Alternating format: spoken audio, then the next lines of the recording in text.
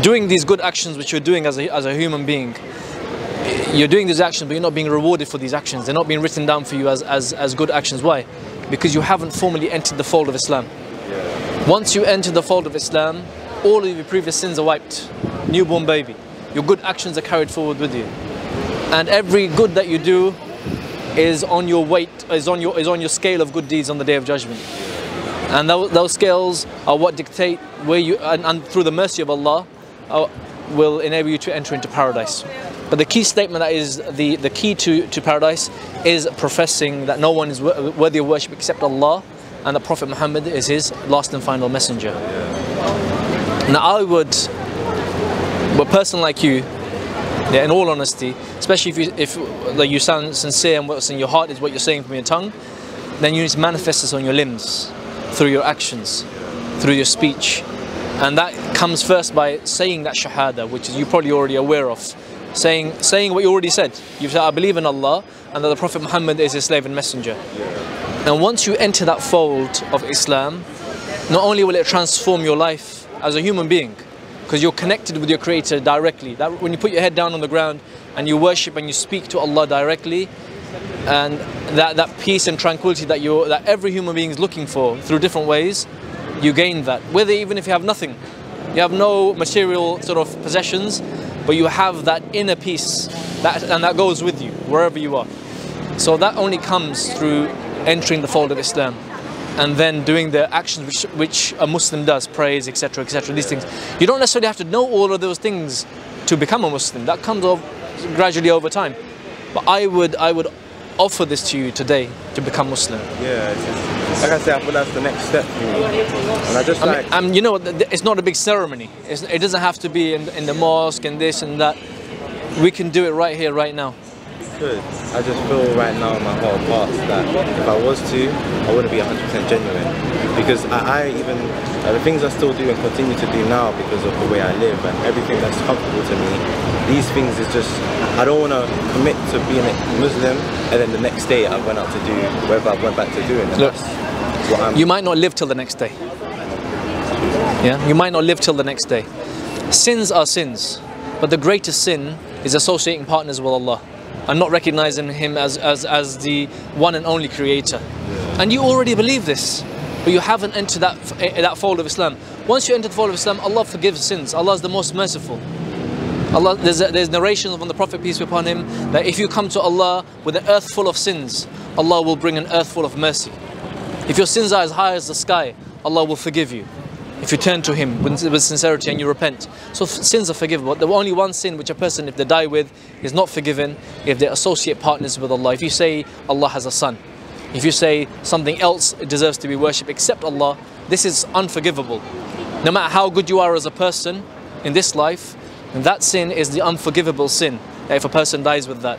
And you already say you believe in Allah, you believe in the Prophet Muhammad, peace be upon him. These actions, Allah will make easy for you to leave. We, there's people who are Muslims and they're doing these things. There's people who are Muslims and they're doing these things. What is the key to paradise? Ashhadu la ilaha illallah wa ashhadu Muhammad Rasulullah. Saying that there is no one worthy of worship except Allah and that the Prophet, peace be upon him, is a slave and messenger. It's the heaviest thing on the scale. Okay? So that, that will come with time, no doubt.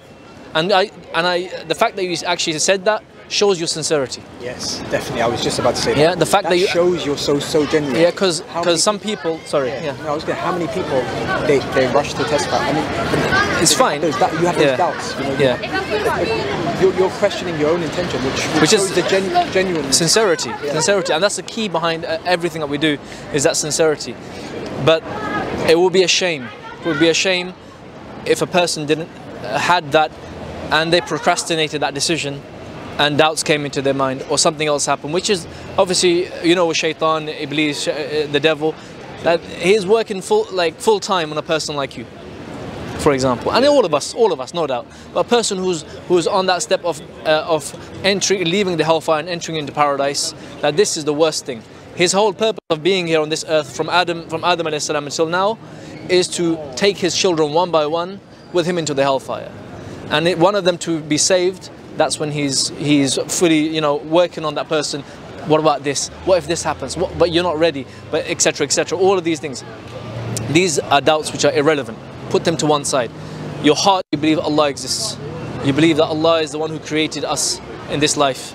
And that the Prophet, peace be upon him, is his slave and messenger. We don't worship the Prophet Muhammad ever. We only worship Allah. The Prophet Muhammad is an example for us, like the messengers came before him, an example for their people.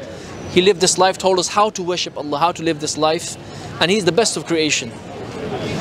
And you believe these things, and I, I would really encourage you again and offer it to you to, to take your shahada.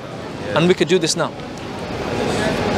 Like say, Don't be afraid, be strong, yeah, be steadfast. the motion of me. I feel like I should give the Quran a deeper look and, and not only just connect myself to Allah, but also connect myself to the Quran and the words of the Quran as it is His true word.